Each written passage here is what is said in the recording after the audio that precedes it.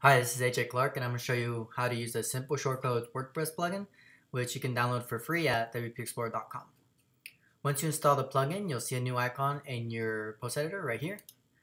And that's the Symple Shortcodes um, insert button. You'll need to be running WordPress 3.9 or greater, otherwise uh, this will not work.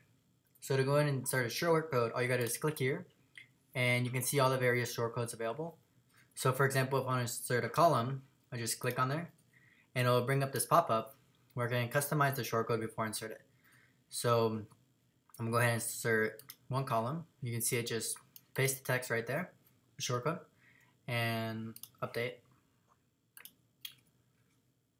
Now you can see my column right here. So now if I want to add a second column next to it, just click enter. Um, again, go ahead and insert a column, and now I'll select a last position for my column. Right here you can change the, the width of the columns. And go ahead and insert it. Click OK. Now you can see here's my second column.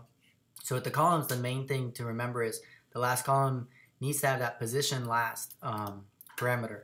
Otherwise, it will it won't be next to it. So I'm gonna go ahead and show you how to insert other shortcodes. For example, button, super easy. Just click button. Again, you can customize your button, change the color, the size, target, rel, anything you want. You can even add icons. For the icons, all you need to do is enter the class name of the icon as it appears on the Font Awesome website. So for example, if I want a bolt icon, I'll just type in bolt. Click OK.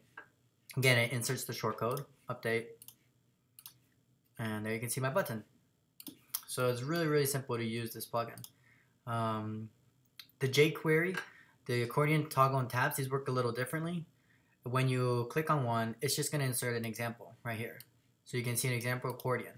Click update. And there you go, there's my accordion. So for the accordion, all you'll want to do is change your content right in here and change your titles. And if you want to add more sections, just go ahead and copy one and just add them like this. And there you can see now I have more accordions. All right, um, there really isn't anything to this plugin. It's so, so simple to use. I mean, you just click, hit OK, and that's pretty much it. For example, Google Map, click it.